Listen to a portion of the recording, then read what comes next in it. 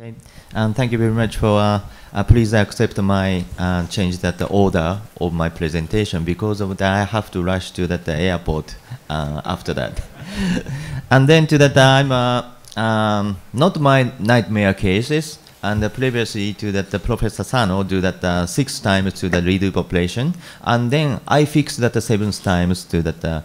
Uh, operation as well. And the case of the difficult treatment of the Taussig-Bing anomaly and the coarctation of the aorta.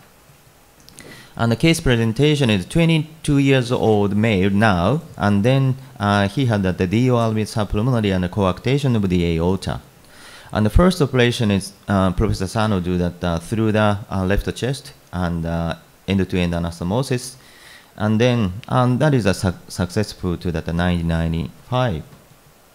Then the second operation, uh, two months, and uh, complete repair to the arterial switch operation, Jatene and uh, VSD closure.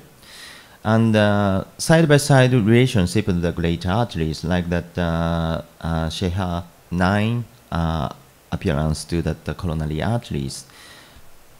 But uh, successful to that the baby is okay.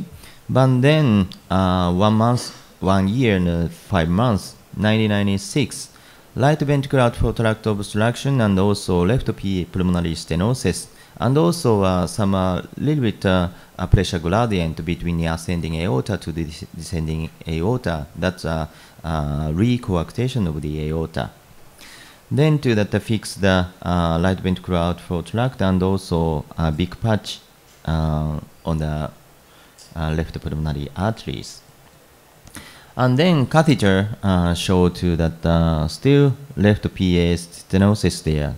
And also, uh, we cannot see to that the right ventricular outflow tract properly, but uh, pressure gradient 50 millimeter mercury. And the left PA stenosis, uh, um, pressure gradient 22 millimeter mercury.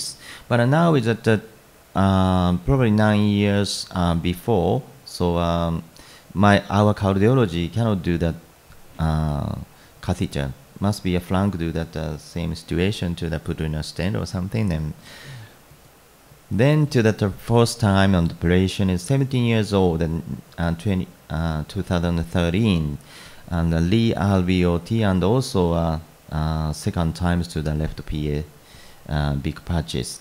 But uh, still, uh, that operation record is here and uh, in that uh, situation is a very bad uh, situation. And through the ascending aorta injure to the ascending aorta at that period. So ascending aorta replaced to that artificial graft. And also to uh, left pulmonary arteries put in uh, some patch materials like that. Ascending aorta uh, replaced to the uh, uh, Uh, uh, artificial graft and also left PAs put on a big batches. But uh, still uh, some pressure gradient here. Probably end of that patches narrow segment is still there. And also just behind to the pulmonary arteries and the big sinus of Valsalva of the ascending aorta. That a little bit, little bit uh, cause of the like uh, uh, Tau being anomalies. Uh, sinus valsalva is bigger, bigger than year by year, and also uh, some stenotic area here. So ascending aorta is acceptable size. So uh, like that, like uh, kicking or something in here. And the fifth time operation, and uh, left PA is still uh, high pressure gradient and also supra aortic stenosis, probably uh, some uh, graft site in the nano segment is there. And also, uh, uh, patient has a hemolytic anemia and some hemolytic and uh, total bilirubin is at 4. So uh, at that time, uh, do that uh, artificial graft interpose to the left pulmonary artery to the main pulmonary arteries and then open stent implantation on both of that upper and lower area in the pulmonary branches. Then uh, fifth time the CT and still some uh, pressure gradient to left pulmonary arteries and also uh, ascending aorta like the curve and the kinking still there, and hemolytic anemia and still there. So a six-time redo operation. So uh, ascending aorta artificial graft is opened, and then a uh, little bit uh, this area cut off, and then uh, inside the lumen there's a very smoothly uh, check to that. Like that, uh, finish that the six-time operation artificial graft through the main pulmonary artery to that the left PAs, and the Hemashield patch on the ascending aorta. So summary to that the six-time operation, in the first operation is coarctation repair through the left chest, and the second operation is arterial switch and a, a VSD closure, and the third operation is the left PA, and also recoarctation LVOTS relief. And also still uh, left pulmonary stenosis there, and also uh, main pulmonary artery push that ascending aorta backwards. That's the main issue of the uh, left pulmonary artery is small. And then uh, I just uh, before the seventh time operation and uh, cardiology do that the cardiography like that uh, big sinus of Valsalva and also a kinking to the ascending aorta just a bit uh, front of that uh, ascending aorta main pulmonary artery and also closing to the left pulmonary arteries as well. So thinking about that, and also pulmonary arteries like that, and stent is open stent is okay, but between a main pulmonary artery to the left pulmonary artery branches, still narrow segment is there. But uh, this area, still ascending aorta here. If that uh, put in a uh, stent or something, but push the ascending aorta, we cannot do that. Cardiology said cannot do that uh, stent inside here because of that just pushing to the ascending aorta. So uh, discussion is left PA, still stenosis, and also supra-aortic stenosis, and also patient has that ascending aorta, just a kinking hemolytic uh, phenomenon. How can we relieve that uh, seventh time operation?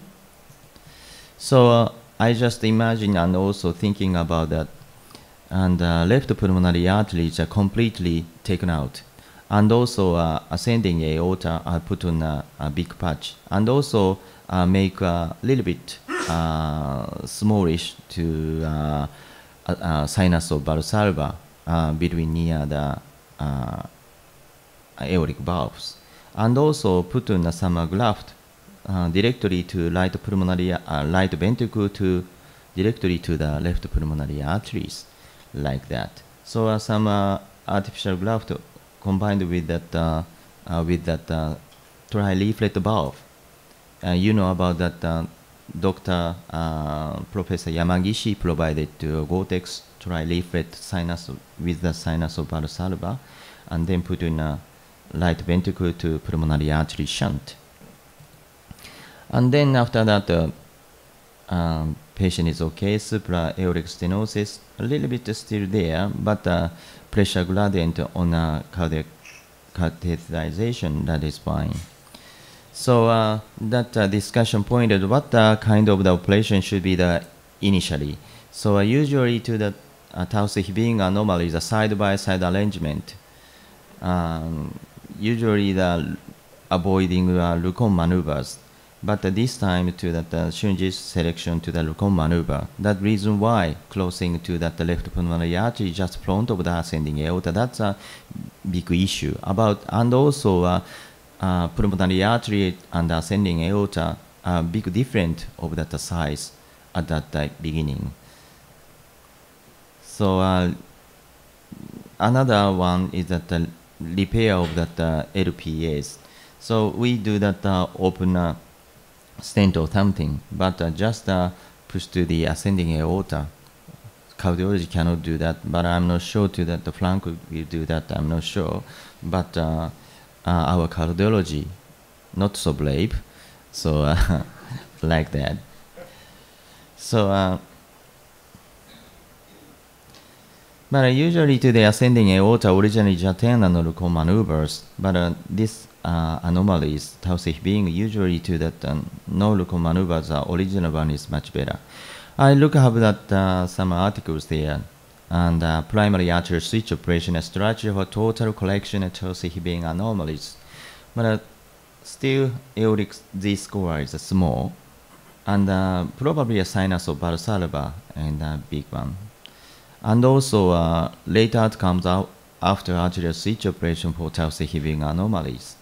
Aortic arch obstruction is sti- still there, and also uh, uh, neo uh, native and ascending aorta diameter is uh, big. That's a problem about that.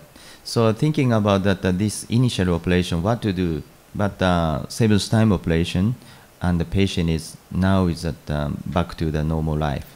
Thank you very much for your attention.